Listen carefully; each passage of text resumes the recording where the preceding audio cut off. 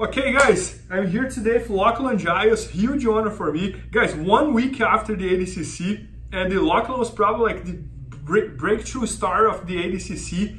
Uh, he got third place in the open class, just weighing like 75 kilos, which is like probably like 165 pounds or something like that. So guys, such a big honor, oh, Lachlan, appreciate you being here for us. And uh, guys, today Lachlan is gonna teach us how to use half guard against wrestlers. So he's he, Lachlan is actually also the national freestyle champion on wrestling in Australia, and uh, and he has one instructional, the half guard anthology. That's one of the best selling instructions on BJJFanatics.com, and uh, so I'm super excited to learn from him. And half guard is one of my favorite techniques. So I want to see what Lachlan has there. So all right, there you go. Let's do it. Um, so I think the first, we'll probably cover two two parts to this. One is like getting in and, and getting the underhook, okay? Which is like, I'm gonna work from the underhook yeah. to, to get the, to try to get a sweep. Uh, and then the second part's gonna be like, once I have the underhook uh, and, and Bernardo's pressuring heavy, how do I actually try to set up a sweep on someone who's doing that, who gets like a strong whizzer and, and so on. Okay? Yeah, so, so yeah, we were just discussing that here, guys. Like, I think what wrestlers does that's very, very annoying, they do the kind of yeah. like the folding here and they back up, right? So they don't give you the chance to involve with the legs and to get the underhook. Yeah. So how do you deal with that? All right. Like, um, let's let's first look at positioning. Okay. So actually, we might, can we just do the same thing but from the other side? Yes. So I want to. The, the thing I'm going to try and do, like, I need to get you. I need to like move down your body quite a lot, and you're going to keep backing away as I as I do that. Okay. So I need to make. I need to kind of like lift your lift lift you up a little bit to get underneath you, but I also want to try and pull you forward. Okay? So first thing, which is something I do, which uh, I don't see taught too often, but when I have my knee shield, I always put it in, in front of the shoulder. I don't like it low here. Here I'm never going to get through for the for the underhook. Okay, if I can have it in front of the shoulder and I use my left foot quite actively pushing against Bernardo's shoulder here. Okay, this really reinforces my ability to flare out. If I don't have that, he can smash my leg really easy okay? When I put my foot here, it's gonna make it a lot more difficult, okay? On top of that, I will put my left elbow inside my knee. Oh, Let's turn to see that now. So I'll have my knee shield here, and I'll put my elbow inside my knee like this to reinforce that, and my hand swims up. It has to, you have to with your hand, like grip over the top of the shoulder blade. Here's no good, okay? Bernardo can smash his head down through that. Yes, okay? But when I grip here, if he tries to smash the head down, it's a little harder, okay? All right, so I've got this, and this is making it like it's, Bernardo probably can't go too much lower than he is. I can't lift him up from here, but I can stop him going uh, lower than there, right? From here, I'm gonna start to do this like, you're gonna have to use like a good forward and backward motion to slowly work underneath. So first thing, I don't try and reach here. He's block, he's ready for that, he's blocking. I'm not gonna get under his legs now. What I'm gonna do is I'm gonna start to get up. Okay, let's get up on my hand here. And now Bernardo, if he wants to put like try and push me back down, he's now got some forward momentum. Okay? Or even if he's backing away, I've got much better chance at, at getting underneath. Let's turn a little so. Okay. So once I'm there, I'm gonna, my aim is going to be to bring Bernardo forward. I'm going to reach under with my right arm, like this, and try and bring his hands to the mat. Okay. Okay, look at that again. Here, I get up, I bring him forward. Okay. Now, personally, I don't use deep half as much. You definitely, if, you, if you're a deep half player like Bernardo, you would go deep half. I would love that. Yeah. For me, I try to get the underhook. So now that I'm here, I can easily swing my left hand through and get an underhook, right? And this starts to let me get, like once Bernardo settles his base back, I can start bringing up and I start getting my underhook attack going, okay? Now, let's just have a look at that because he had the, Bernardo had this weave grip here, which is quite strong. I will never be able to like, you just hold that tight. I'm not gonna be able to kick that arm free here, but when I pull him forward, I will be able to.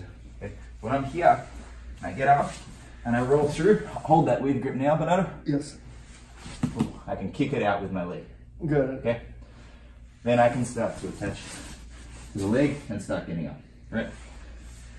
Um, I do want to talk a little bit, so uh, let, us uh, stay a little heavier and just go forward like a tiny bit, because in reality, it's usually kind of like and we go here, and then I get back up, and I go again, and I'm slowly working into it. into a good underhook like this, right? So just so you know, like it's usually when you're sparring, it's, it's a, a bit, of a lot of back and forth. It's usually not like a one, one single motion like that. right? Uh, once I get the, the underhook here, and Bernardo's got a heavy, um, he's very heavy with the whizzer, okay? So what's gonna be very difficult here is, is for me to get up and drive in and drive forward because of that pressure, okay? So I'm actually going to roll underneath again, and I'm gonna change my feet. So I'm gonna roll under, I'm gonna pull Bernardo's hips up, and I'm gonna change feet here, okay? With this, all right, so see how he's got the whizzer? My left hand's holding the hip, my right hand's gonna hold the leg here. I'm gonna use knee pressure to roll him over. So I will back heel like this. I make his knee 90 degrees. And then I wanna slide my right leg until his knee sits on top of my thigh. Just here, okay? Watch this now. Bernardo is not leaning enough that I can pull him over here, but I can scoop my leg to the right, and this starts to lever his knee. Yeah, I'm in trouble here. and I start to come up. So what's actually taking, if Bernardo goes back, uh, just go to your knees here, uh, face this way, yeah, uh, uh. No, no, onto, onto, uh, onto, your knees, so just okay. oh, on my knees, okay. yeah. So what I'm trying to do to, to force him over is like pressure the knee here and leave it like that. And as it goes here, I start to move my, my legs under this knee, pressure the ankle and the knee, and this starts to take Bernardo over like that. Okay, so we go. So guys, a good parenthesis here is that uh, uh, Locke is, uh, he has a PhD on physiotherapy for knee rehabilitation. yeah, so so everything that involves knees, he knows what he's doing. So so we've got the uh, let's turn a bit. We've got the underhook. It's and and Bernardo's very heavy, so I can't drive forward. I'm gonna reach to the hip, I roll under, I pull tight. Okay, so everything's like locked in. Chest forward, tight here. All right. So what you'll notice, I've trapped the leg, or my left leg's trapping the leg.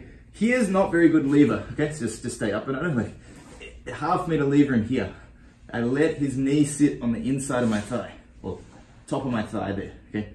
Now, even now, if you, if you stay heavier this way, I can't pull you over, but when I start scooting out to my right, like this, I start to take him over, okay? Then I start to roll on top. So essentially what you're trying to do, you especially if they're big and strong and heavy, you're not gonna pull them from one side of you to the other. That requires strength. We're gonna move ourselves underneath our opponent it's important as you do this that you're squaring up as you as you get that. So it's not just like that. It's like I'm starting to face my, each time I do this, my hips face a little more vertical, which helps to, to tilt it. So guys, uh, really, really cool uh, uh, what Locke just showed because uh, coincidence or not, this is exactly what I do on that situation. Can okay. I show you? Yeah, yeah. So every time I'm on a half guard and the guy doesn't let me get here on this leg, he hide this leg that's pretty much what I do. I place this hand in the shoulder and I push him away. Now look how closer this leg is to me, right? But what, and then I can just like go to the, or deep half guard or switch back to the single leg half guard, right? But uh, what I really like of Lachlan showing is that pretty much everything that he showed I had seen before, but he did in a way with some very small details and he explained in a way that I had never seen. So for example, this thing that you showed in the very last move, yeah. that you kind of clear my knee and yeah. then you start twisting. Can you show that yeah, part yeah, again? Yeah, so, um, so you don't want to, it's a, it's a real like subtle point, but yeah, like I don't want your knee to the ground either. If your knee, go, here I don't have as good leverage because I'm not actually at your knee. Like I want it on my thigh here, okay? I don't want it inside, I don't want it too much here. I want it to be like there. And I can ah. really pressure that. Yes, yes. Yeah, that's amazing. So that's what I'm talking about, guys. Like I, I, I knew that we had to do something with the knee over there, but I could never explain like exactly what's that. So that was a very, very good Thank you. explanation. Like, so guys, uh, make sure to check at bjjfanatics.com. We have the uh, Half Guard Anthology by Lachlan Giles, and it's very, very good. It's all no gi. That uh, many times you see people who do half guard very well, but it's hard to translate gi to no gi. So Lachlan does that amazingly well, so make sure to check that out. And thanks so much for coming. Thank you. Lachlan. Please help me out to grow my YouTube channel. Just click subscribe. And to watch more videos, just click under see more videos. I hope you enjoyed. BJJFanatics.com. Use the promo code YouTubeFaria to get 10% off any instructional video. Improve your jiu-jitsu faster.